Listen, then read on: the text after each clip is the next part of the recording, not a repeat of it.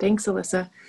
Hi, I'm JC Fry. I'm the director of the Kearney Center for International Student Services at Minnesota State Mankato. Um, I've been here for just over four years, and um, I think that this has so far in my career in higher ed been my favorite place to work. We have um, a ton of international students and a great community that um, is super uh, happy to see that international enrollment grow and it is a super fun place to get your degree. So I'm excited to talk to you about the next steps that you need to take so that you can get here and join us. Yeah, I agree with everything JC said. So I'm Alyssa Morrison. Uh, you get a lot of emails from me. Um, I'm the Assistant Director for Strategic Communication, so I like to send you communication. I've worked in this office for a little over two years, and it's been really awesome. When you get to campus, you're you're gonna love it here. Um, we have over 1,100 students from 95 different countries. Our staff really cares about you. Um, I think I can probably name about 800 of those students when I see them. So we care about you and we want you here. So yeah, that's the reason we're having this today is to answer your questions. Um, I work with our student workers that many of you have spoken to on the phone or on WhatsApp or through email. And we know that you have a lot of questions about your I-20s. Um, so today we're gonna talk about how to request your I-20. And then we're gonna talk about the timeline of when you can expect to receive it and then after that, we'll open it up to Q&A. Um, so JC, would, do you wanna talk about how to request an I-20 or would you like me to talk about it? Um, I think if you, are you able to share your screen so you can show them like where they find the location of requesting? I can. That's awesome. So while you pull that up, maybe I can talk a little bit about that. Perfect. So in order to get your I-20, you have to initiate um, you know, by letting us know that you're ready for it. And um, we do all of this electronically. And if you've already submitted your I-20 request for us for spring, and you've, um, you know, deferred your admission or you're just admitted for spring, and you've already submitted it, great. That's awesome. You have found out um, or you figured out where that link is or you've found it in your email. That's great. Alyssa's going to show you here um, where you can request your I-20. Yeah. So if you've lost that email with the link or you just don't feel like going through your inbox to find it, I get it.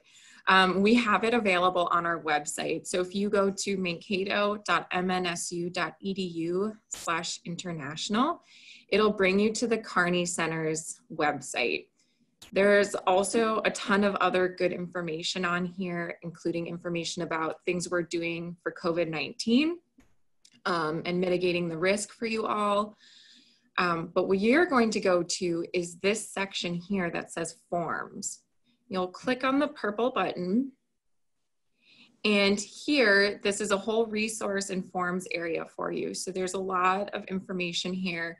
We also have weekly newsletters that go out to students. So if you wanna know what's going on on campus, you can even check those out. But you'll follow it to forms again, just keep pressing forms. And mm-hmm. right on top here is the I-20 request for new students. So when you click there, it will bring you to this form.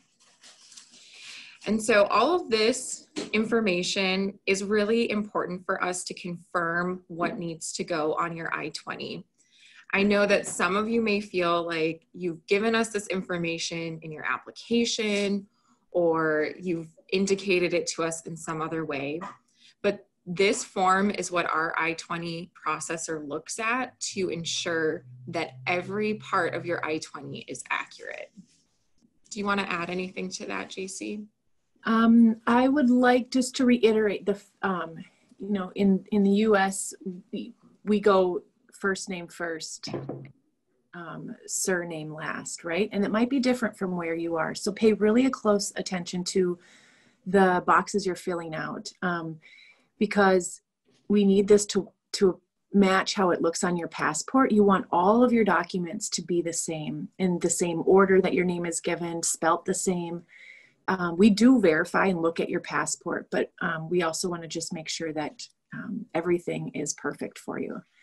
So, like Alyssa said, you feel like I've already filled this out on my application, or I've already given you this on my financial affidavit.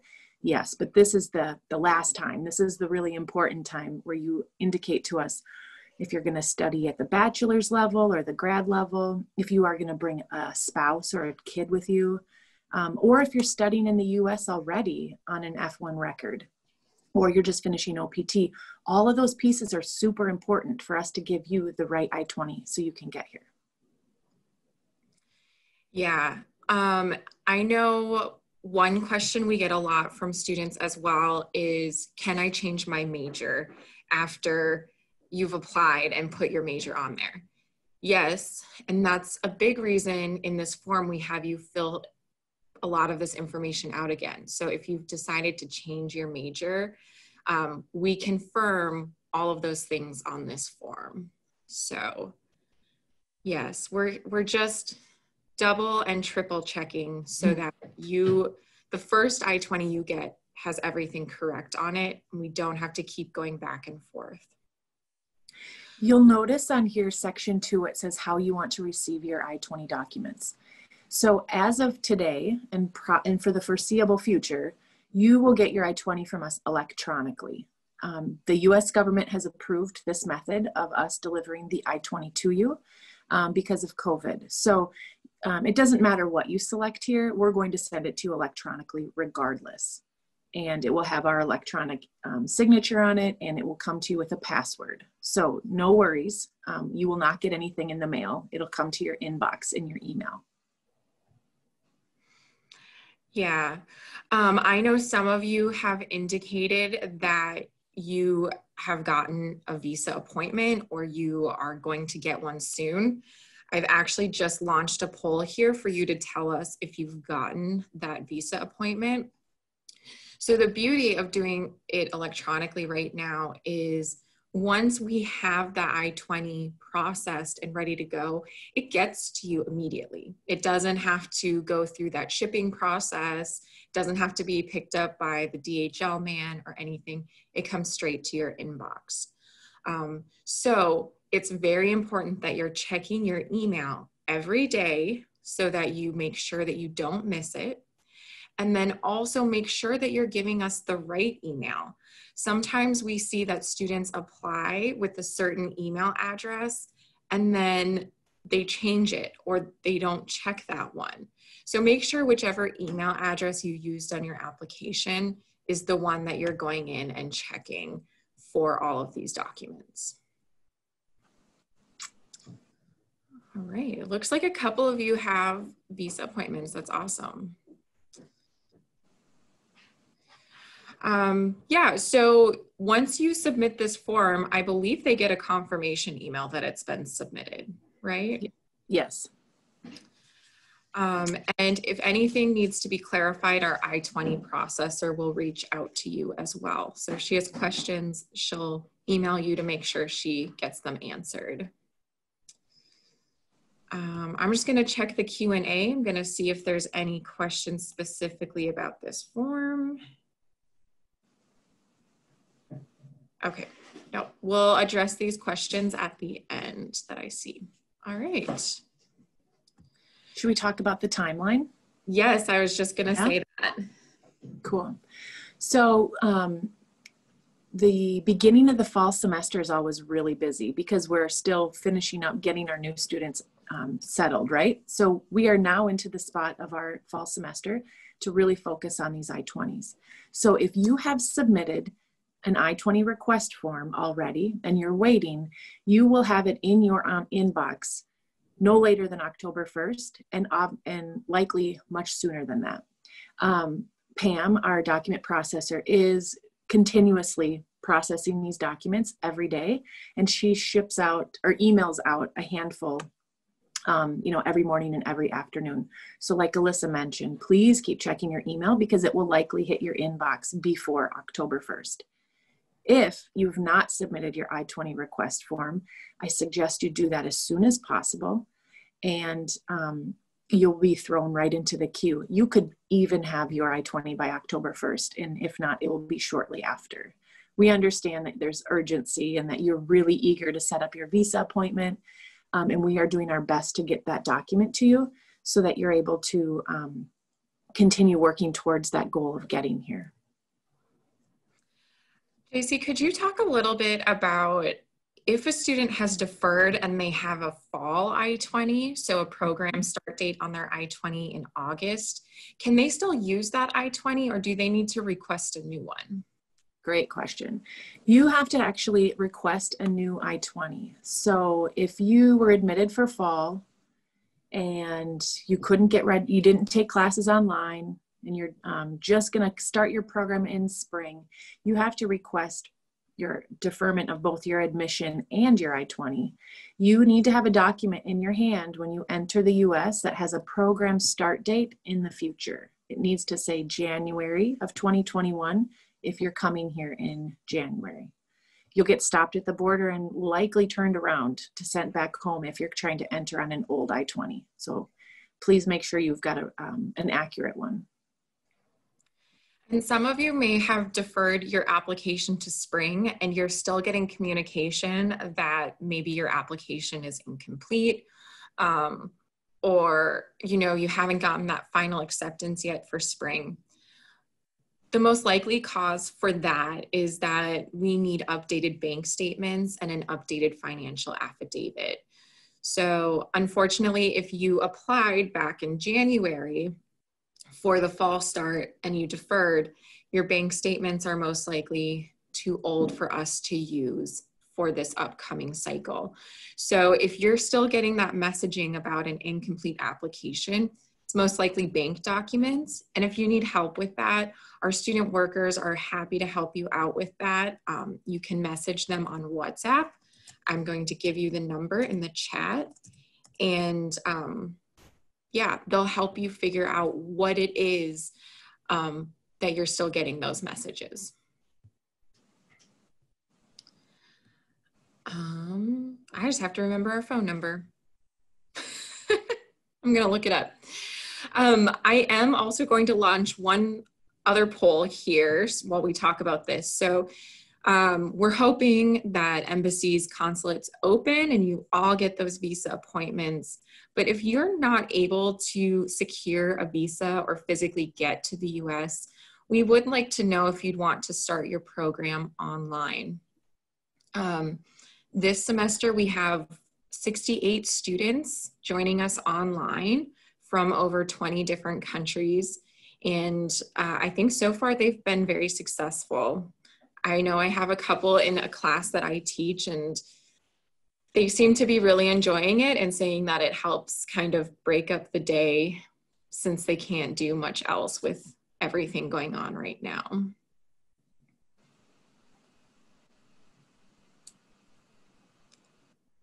All right. Still trying to find that number. Mm-hmm.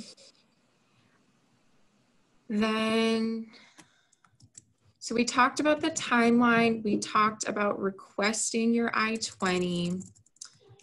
Um, should we open it up to Q&A? Yeah, I think that's a great idea. All right, so we do have questions here. If you want, you can also raise your hand and we can unmute you and we will um, surely answer your question. But the first one we have here is from Ahmed, and it's been upvoted twice. Uh, it says, since I wanted to get done with my visa uh, DS form, but I don't have my SEVIS ID, will the university share my SEVIS ID prior to my I-20 form? So typically, you do not get your SEVIS ID until you've gotten your I 20. They go hand in hand. Um, if you had an I 20 that was with a fall start, though, and you've deferred to spring, you will most likely keep that same SEVIS ID. Um, or if you're transferring from another US institution, usually um, you do keep that SEVIS ID. But if you're a brand new student and you haven't received an I-20 yet, um, you won't know that SEVIS ID until you get your I-20. Do you have anything to add to that, JC?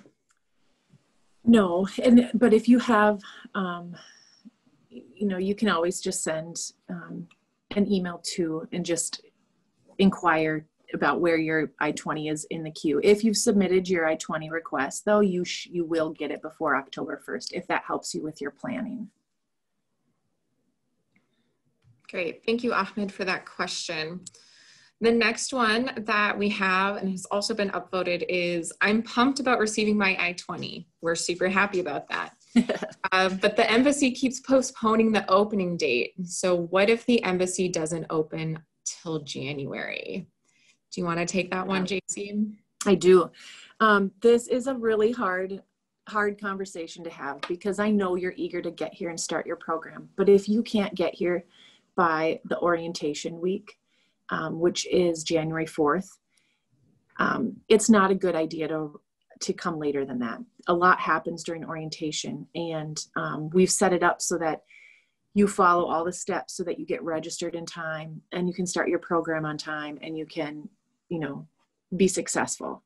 If that happens, you'll have two choices. You'll be able to start your program part time online from home if that works for you, if you have the right internet connection and if if you want to try starting online, or you can defer to fall 2021.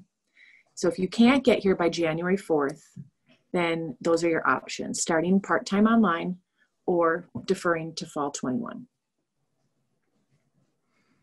Great. Thank you. That is a big question that we get a lot though, so thank you for asking that. Um, we have one here. So I submitted my financial affidavit and bank statement. And later I noticed that university website had a new financial affidavit uploaded where they changed the financials and scholarship name. It's been almost 19 days. I haven't received an admission decision email and my questions haven't been answered in the emails. Well, we're first, we're really sorry that we haven't answered your questions, um, but we will do it now. So that's good. Um, so for those of you who have already applied and your application was in before those changes were made, you will be able to apply using the old documents um, and that old figure. So we're not going to make you go back and get us brand new bank statements and financial affidavit. Um, and that is also for students who deferred from fall to spring. We will also honor that last um, uh, figure that we put out there. Um, if, however, you know someone who is applying from today and onwards, they will have to show those new updated numbers. And it's only about, I think I did the math the other day, it's like $240 more. So it's not too much more, but we understand that um, it is an increase and it, it could affect some of you. JC, do you want to talk a little bit about the scholarship name change and what? Yeah, yeah, for sure. So some of you might be aware of a scholarship we used to have called the Cultural Contribution Scholarship. And with that came a lot of um, requirements. You used to have to do 50 contribution hours, like community service hours each year to maintain that scholarship. Well, we've changed that scholarship. We've changed its name, we've changed its eligibility requirement. So now it is called the International Maverick Scholarship, and we aren't requiring any um, experiences this year, but next year we will require six experiences for you to complete over the academic year. You keep this scholarship for the entire year, um, and it's it's changed a lot so that it's more student friendly, and um, it just makes more sense. An International Maverick Scholarship makes more sense to to students like you than maybe what what it was previously. So um, same amount of same same amount um, of scholarship dollars just a little bit less um, as far as engagement requirements. You need to maintain um, uh, 2.5 gpa and complete 12 credits every semester and maintain your status and you get to keep that scholarship. If, however, you decide to start your program online from home in January and you only take, let's say, six or seven credits, because you had intentions of coming here, um, you will still get that scholarship based on the number of credits that you're registered for. So we want you to get here, but we want to be safe. And we also want to be able to give you that scholarship. So we'll just um, stay in communication and we'll be sure that we can award that scholarship to you as it's appropriate. Um, if you're hearing water sounds in my background, I don't know if you can hear that. It's my dog drinking water. Ignore her. um, all right, so I this question is I deferred to spring and also have submitted those documents, but still haven't received any information on my acceptance. When will I likely get the news? Um, yeah, so our admissions department, because they've also been working remotely, just like we have been, I think they've been getting a little bit behind. Um, saving documents to the student record system and then um, getting them to the different um, reviewers has been a little bit slower than normal. So typically we say that once your application is complete, you'll get a decision within five to seven business days. Um, I think right now it's a little bit closer to double that, so 10 to 14 business days. Um, if though it's been longer than that and you're still not sure, please feel free to email us at international um, at mnsu.edu with your tech ID, and that will that when you finish your application, and we'll look into it. Um, sometimes maybe the queue is super long, but we can see if there's a way to prioritize it. So um, definitely feel free to reach out to us. Do you have anything to add to that, JC? No, I don't think so. Perfect. Um, okay, so there's a question about the timeline for I-20. So again, we hope, well, we know that if you've submitted your request um, already, you should have it in your inbox by October 1st, if not before. If you haven't put that request in, again, do so today, and most likely you'll still get it around October 1st um, or just a little bit after that. Um, okay, so Anna has a question here. Due to COVID lockdown in Cameroon, I wish to know if my son's registration could instead be carried over to fall 2021. Great question. Do you want to talk about deferring to fall 2021, JC? For sure. So if you've decided that you want to defer your admission to fall 2021, then you would send an email to INTL ADMT mm-hmm.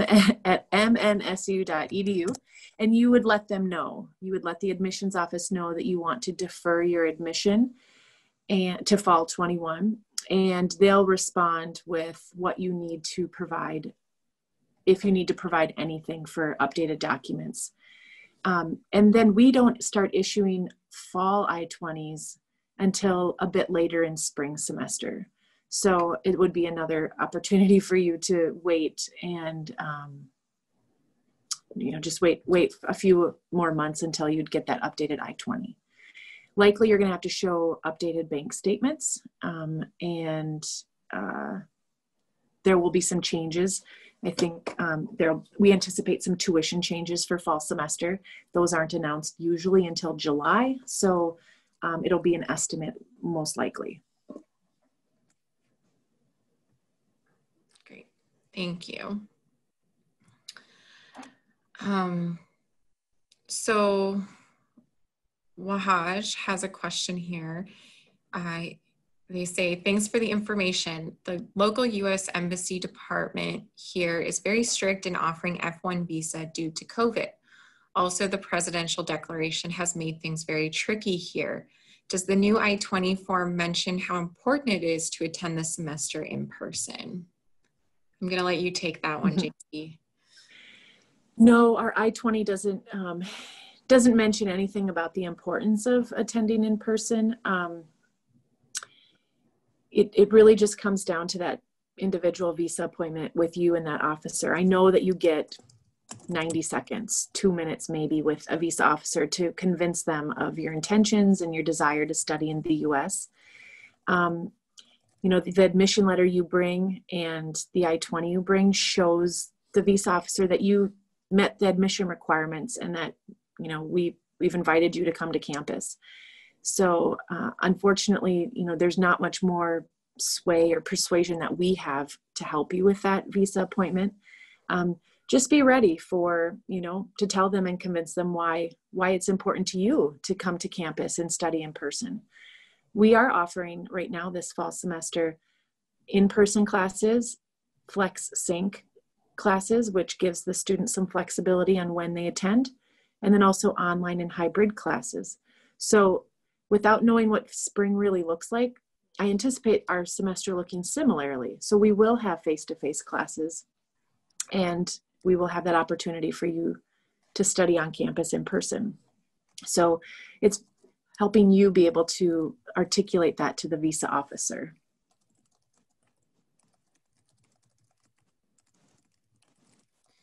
All right. Thank you, JC. All right, Carla has a question. I used to be an international student in the USA back in 2017. Then I ended my student visa and came back to Mexico to study. Now I'm trying to get my I 20 and I got an email saying something about a SEVIS record, but I'm not sure what to do next. Hmm. Um, yeah. Huh. Well, if you if your SEVIS record, if you've been out of the US for more than five months, then you start the whole process over. So if you got an email about a SEVIS record, um, you'd want to probably um, you know, respond to that email. If you have an active record, let us know. If you don't, then you're starting all over as a brand new initial student. So you'd have to pay the SEVIS I-901 fee once you get your I-20. Um, you may have answered something on the I-20 request form that may have confused our processor. So, but if you do not have a current I-20 or a uh, SEVIS record, then you just submit for a brand new one. And you can, you can submit a new I-20 request if that's just easier for you to inform us of, of your intentions. Um, also, if you have, um, if it's more complicated than I'm allowing like it to seem, you can definitely send me an email and I can help you with that. My email is jc dot fry at mnsu.edu. Thank you, Alyssa, for putting that up there. Of course. And um, we also do have a staff member who does virtual advising for students. She knows um, quite a bit about immigration as well. So if you want to even set up an appointment with her, feel free to do so. Her name is Elizabeth, and this link that I've put here that says outlook.office365.com and then it's a lot longer. That will bring you directly to the booking page where you can give us your information and it will allow you to book an appointment with her. She's always very happy to see all of you and get to know you. So don't be shy. That's definitely an option as well. All right, looks like we're making a dent on the questions. Um, so Jorge says, um, days ago I was told my I-20 is processing. That's why I started to fill the DS-160 form. There's a section where I have to write the address where I'll be living in Mankato. Right now I don't have an, an address yet. So uh, do I have to already have uh, an, a parent to start my visa process or an address maybe? Yeah, no, you surely don't you can use the university's address. Um, we wouldn't want you to have uh, a, an apartment rented yet if you don't know if you have a visa. So just use the university address and that will be fine. And then I think when you got that email that said your I-20 is being processed, that's the automatic email you get once it's been submitted. So it is being processed. It's just probably further down in the queue. Um, so if we couldn't apply using the I-20, can we use our tourist visa if we have one using COVID as a reason? I'm to let you take that one too. JC. Yeah. So it's tricky um, because a B visa is not for study. A B visa is for business or tourism and just visiting. Um, so I would say no, you can't study on a B visa. Um, we have had students, I think, maybe take a class because it's incidental to the reason they're in the US. So um, I would not advise in um, studying on a B visa, especially if you have intentions of getting a degree here on an F visa. So I would say, you know, be patient. And if you could start your program online while you're waiting to get that F visa, that might be a better option for you.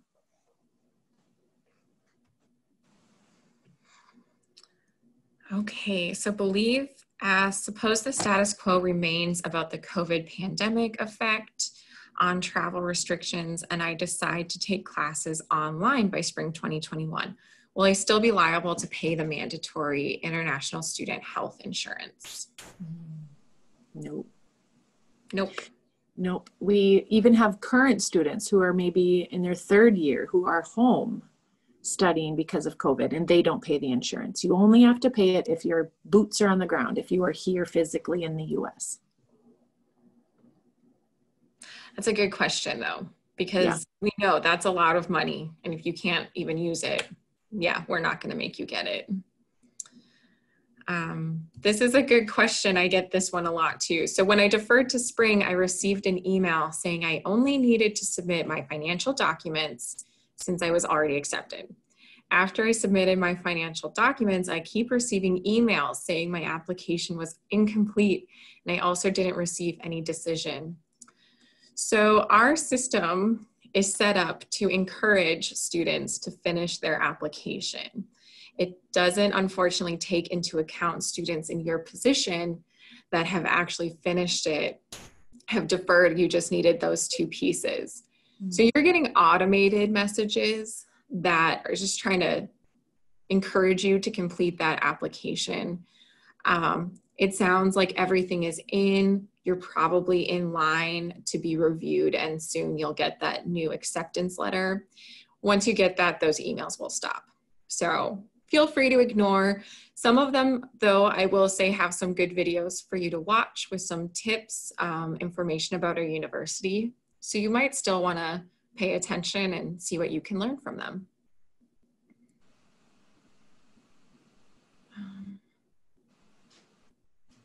Okay, so Andy says, please explain this question's answer once more. The US Embassy in our country has not opened yet. So what if the embassy stays closed until spring 2021 intake? So in that case, you'd have a couple of options. You would be able to decide to study online with us. You could do that part-time from home, or you could defer your application once more to fall 2021.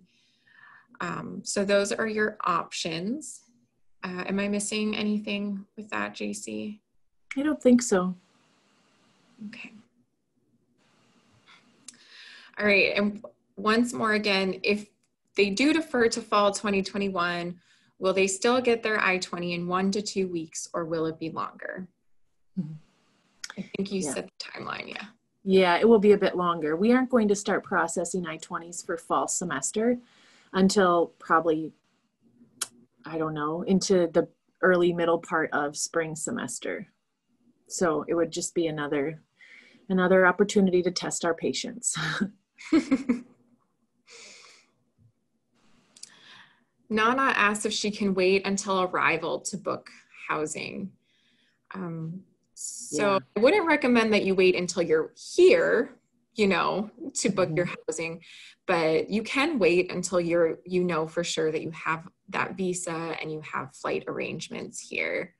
Do you have anything else to add to that, JC? Um, I would say, you know, if you know someone that's already attending here, they might be able to give you some pointers on um, places to look for off campus housing. On campus housing is always an option.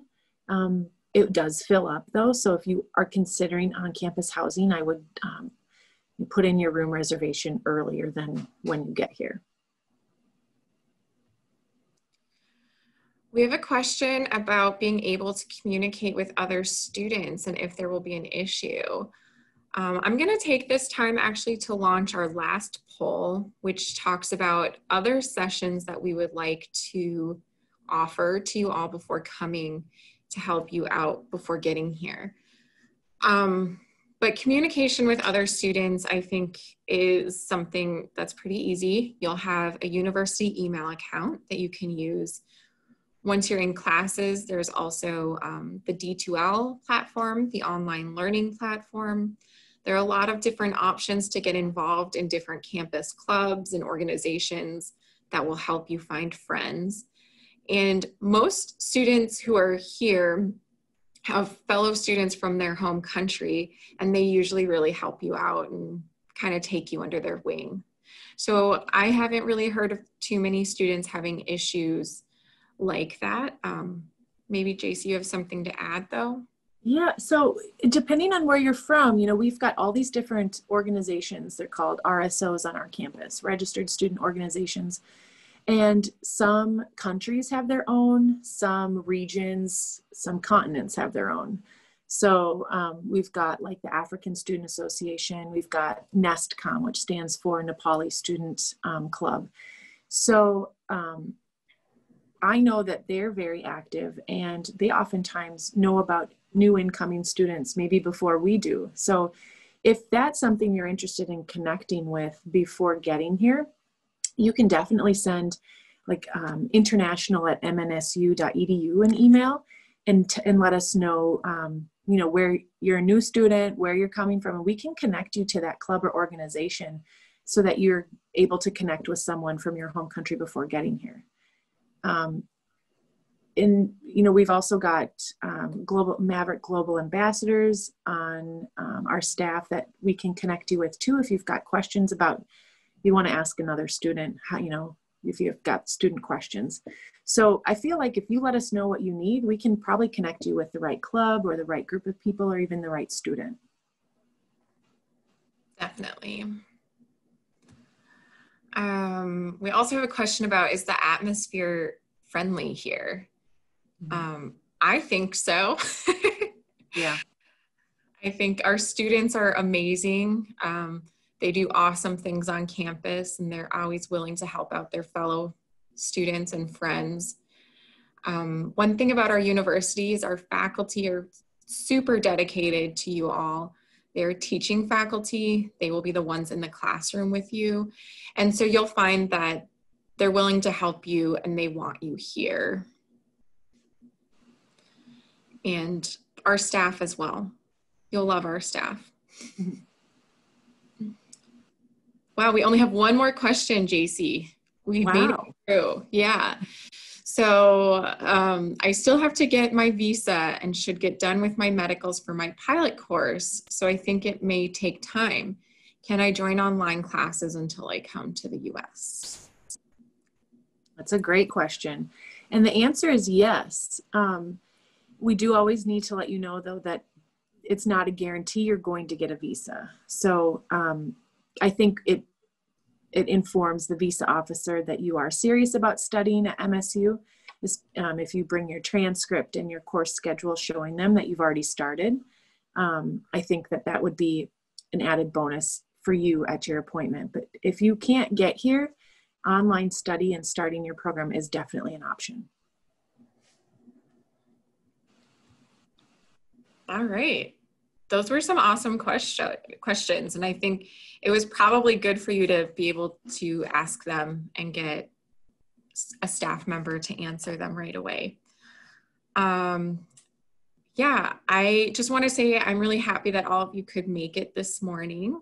We are always here to help you though, so please don't be shy. Um, my email address, I'm going to put it here as well. So if you want to get in touch with me directly, please feel free to email me.